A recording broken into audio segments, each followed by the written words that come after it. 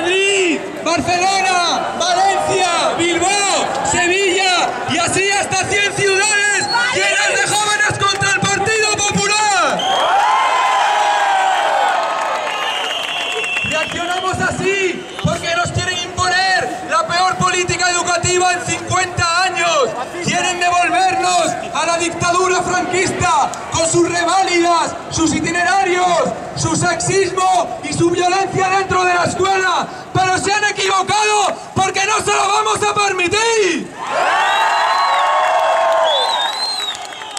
Quieren que la Iglesia Católica vuelva a tener todos sus privilegios dentro de las aulas.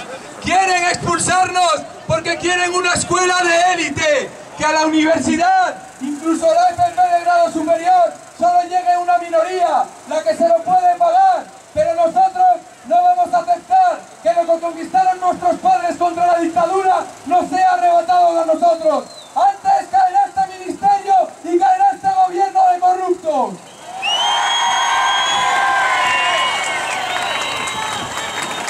Nos dicen que hay que privatizar porque así se ahorra dinero. ¿Cómo se va a ahorrar dinero metiendo un intermediario más? Un empresario que se lleve millones de euros. Lo que queréis es que todo lo público quede en manos de vuestros amigos, esos que llenan sobres con cientos de euros, con miles de euros, para que hagáis políticas contra la juventud y contra los trabajadores. No engañáis a nadie, sois una manzana podrida y os vamos a tirar al cubo de la basura.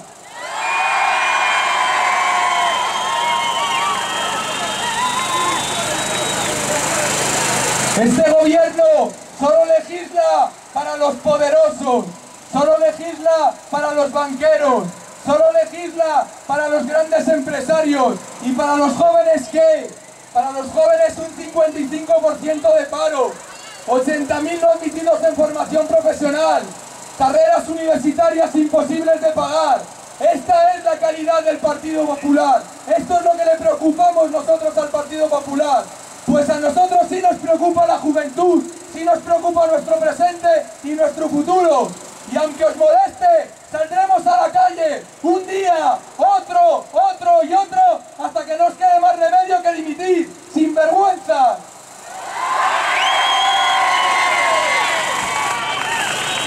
Ahora que les ha estallado el caso Bárcenas en la cara, están muy preocupados, intentan- intentando demostrar que es una persona individual.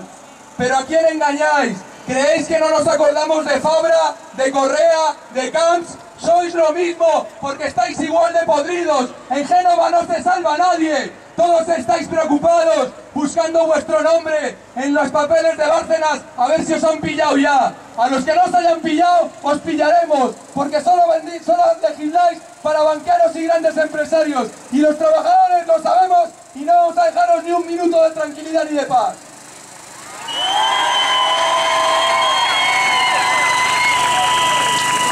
El Partido Popular es el reflejo más claro de la podredumbre del sistema capitalista. ¿Por qué si los trabajadores construimos las casas tiene que haber trabajadores sin vivienda? ¿Por qué los trabajadores si elaboramos la comida tiene que haber gente pasando hambre? ¿Por qué si con el dinero de nuestros padres y abuelos durante 35 años se ha construido la sanidad pública, ahora se quiere privatizar? En definitiva, si la, si la riqueza la generamos los trabajadores, ¿por qué sois una pandilla de elegidos los que tenéis que decir los destinos de la sociedad?